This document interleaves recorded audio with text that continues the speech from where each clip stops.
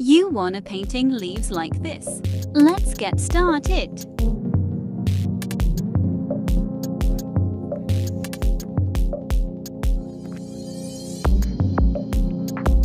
Loaded brush every single stroke.